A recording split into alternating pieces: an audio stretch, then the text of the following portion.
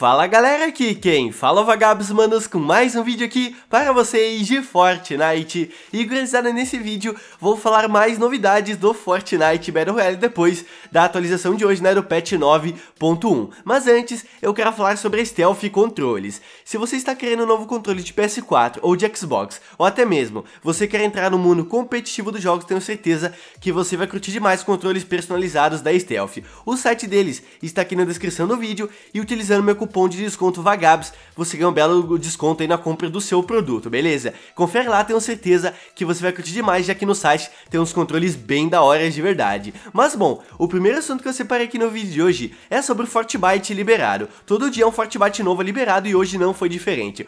O Fortbyte liberado é o de número 60 e diz o seguinte, acessado com o gesto EBA em uma sorveteria no deserto. Ou seja, você tem que pegar o, o gesto EBA, né, que você libera na categoria 14 do passe livre e você vai lá naquela sorveteria bem perto da pista de corrida, lá no bioma de deserto do mapa, né, bem fácil de achar, exatamente onde eu estou mostrando no vídeo para vocês. E para desbloquear o Fortbyte, é só você fazer o gesto na frente dele, ok? E bom, manos, outra novidade é sobre os desafios das novas skins. Hoje, depois da atualização, duas skins foram lançadas na loja, a skin da Rebote e a skin do Drible, mas elas duas fazem parte do mesmo pacote, que custa no total 1.800 V-Bucks, mas cada skin possui três estilos para você desbloquear completando certos desafios. E olhem só, os desafios da skin do Drible são os seguintes. O primeiro deles é para você jogar três jogos né, criativos lá no modo criativo. O segundo desafio, para você mudar a cor de 100 quadrados no modo criativo. E o terceiro desafio, para você coletar 50 bolas de basquete no modo criativo.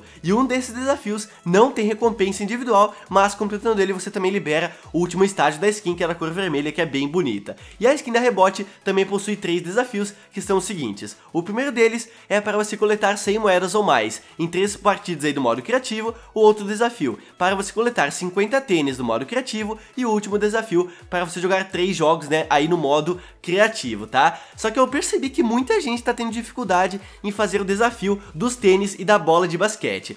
Porque no novo modo, né, que foi lançado hoje, né, por parceiro do evento e tudo mais, você pega pouquíssimas bolas e tênis em uma partida, tá ligado? Ou seja, vai demorar muito pra galera coletar 50 de cada, jogando somente nesse modo que está no modo criativo agora. Mas tem um macete bem legal que a galera fez, né, que tá compartilhando e tal, que você pode jogar outra partida no modo criativo e coletar esses tênis e essas bolas de basquete. Olhem só que interessante, mano. Esse usuário no Twitter compartilhou um mapa em que ele criou, que tem várias bolas de basquete e tênis para você completar esse desafio. Também tem moedas de ouro, né, caso você não tenha feito esse desafio também. E o código desse mapa está aí na tela, é 95 23 15 39 37 13. Então é só você ir lá no modo criativo, colocar esse código né, lá na ilha em destaque e você entra nesse, nessa partida aí e é só você iniciar o jogo e sair coletando tudo que tem ali. Bola de basquete, tênis, moedas, ou seja, você completa os desafios muito, muito rápido, tá ligado? Um macete bem interessante, né, pra quem comprou as skins hoje aí na loja. E bom, rapaziada, outra novidade bem legal é sobre mais skins que serão lançadas no jogo muito em breve. No vídeo que eu gravei mais cedo, eu mostrei todos os itens que foram vazados na atualização de hoje, mas você sabe sabem, muitos itens são mais protegidos dentro dos arquivos pela Epic Games. Pois bem, hoje depois de um tempo os leakers acabaram revelando mais skins que serão lançadas né, no jogo, 5 no total. Olhem só, uma delas se chama Dumpling Man Ball Bros. É uma skin épica, né, que vai custar 1.500 V-Bucks e como dá pra ver, é o mascote lá da Cidade da Sorte. E se eu não me engano, teve uma concept feita, né, exatamente bem parecida há um bom tempo atrás e em breve, né, vai ser adicionada no jogo. Outra skin que foi vazada logo depois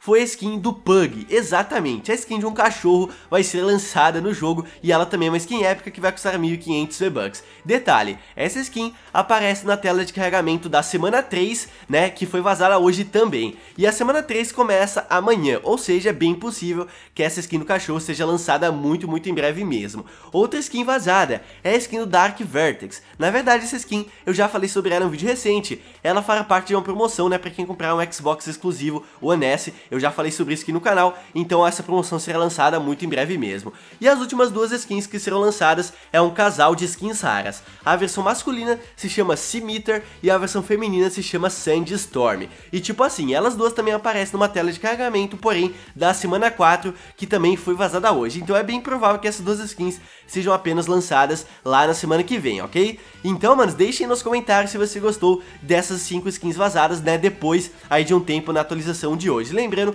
que essas skins foram mais protegidas dentro dos arquivos, porém os leakers né, deram um jeito de vazar tudo isso pra gente, então obrigado né, ao pessoal que trabalha bastante nos arquivos do jogo. E bom, outra novidade bem legal mesmo é sobre mudanças no mapa. Sim, hoje ocorreram várias mudanças no mapa e agora eu vou entrar no jogo pra mostrar todas elas aqui pra vocês. Bom rapaziada, já estou aqui dentro do jogo no modo replay e estou aqui no Pico Polar pra mostrar pra vocês que aqui hoje teve uma mudança bem interessante. Olhem só, Agora o pico está com uma rachadura muito maior, muito mais quebrado, tá ligado? E aqui embaixo ele começou a descongelar um pouquinho, abrir um pouco também. Ou seja, é muito provável que aqui vai ah, ter alguma abertura, algo do tipo. E até mesmo o pico polar seja totalmente derretido até o final dessa temporada ou alguma coisa muito grande aconteça nesse local, né, muito, muito em breve. Então comenta aí o que você acha que vai acontecer com o Pico Polar, porque com certeza alguma coisa vai acontecer. Eu até comentei sobre isso depois do evento ao vivo da temporada passada, lá da erupção do vulcão porque quando o vulcão entrou em erupção,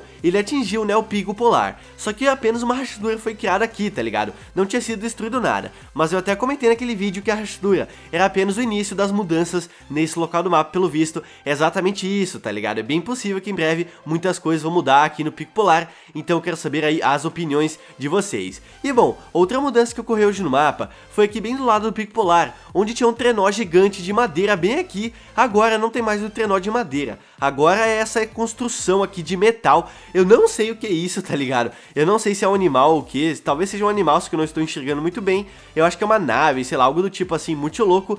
Tudo de metal, então se você cair aqui, não surpreenda, essa nova construção que está aqui nesse local, né, substituindo o trenó de madeira, porque é claro, né, já não estamos tão perto do Natal assim. E outra mudança no mapa bem legal foi nessa casa aqui entre margens snobs e colinas assombradas. Essa casa era normalzinha, mas agora ela tá cheia de construção muito louca, né? Cheia de madeira, tá ligado? Olhem só essa construção maluca que fizeram nessa casa. Aqui em cima tem um caldeirãozinho do tomate, com algumas velas aqui no lado.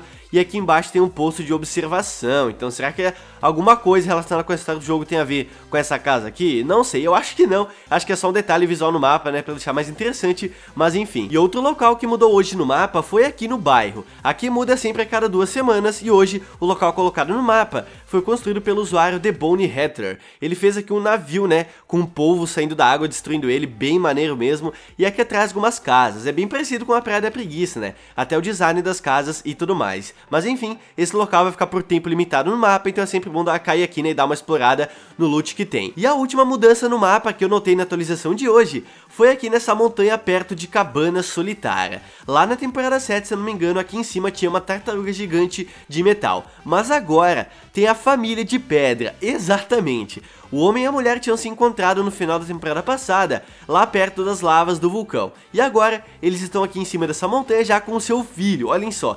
Tem uma estátua de um, de um molequinho de pedra aqui, né, bem bonitinho, ou seja, eles estão, né, fazendo sua família bem felizes aqui em cima dessa montanha, né, que bom que o final dessa história foi muito feliz. Então se você notou outra mudança no mapa que não aqui nesse vídeo, deixe embaixo nos comentários, porque com certeza vai ser útil para todo mundo, ok? E por fim, gurizada, o último assunto que eu separei aqui no vídeo de hoje são os desafios da semana 3. Eles foram vazados hoje, porém serão somente lançados amanhã. Mas tem uma possibilidade sim de alguns dos desafios serem alterados, tá? Mas a princípio são esses desafios aqui. O primeiro deles possui três estágios. No primeiro estágio é para você pousar fazendo um truque com o driftboard. O segundo estágio é para você ficar 3 segundos no ar com um quad a jato e o terceiro estágio para você destruir estruturas de oponentes com um veículo, né, três estruturas no total. O segundo desafio é para você vasculhar baús em cabana solitária ou no pico polar. Sete baús no total você tem que pegar nesses dois locais aí. O terceiro desafio é para você causar dano a um oponente depois de 10 segundos a usar um turbilhão, né, 200 de dano no total. E agora os desafios exclusivos para quem possui passe de batalha pago. O primeiro deles possui três estágios.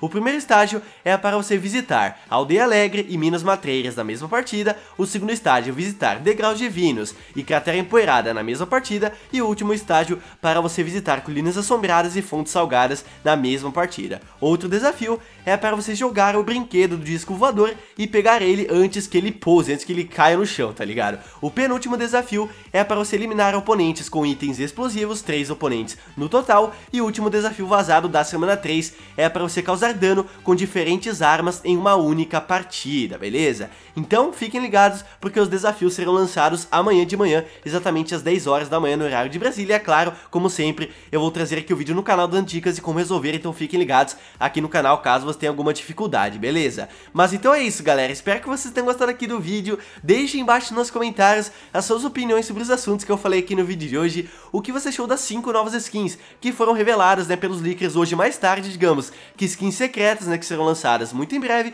E é claro, se você gostou do vídeo, deixa o like porque não custa nada e vai estar tá me ajudando demais. E mande esse vídeo para seus amigos para eles querem saber de todas as mudanças no mapa que ocorreram depois da atualização de hoje e para eles deixarem nos comentários o que eles acharam das skins reveladas também. Então é isso, galera. Aquele abraço, se vemos no próximo vídeo. Valeu, falou e eu fui!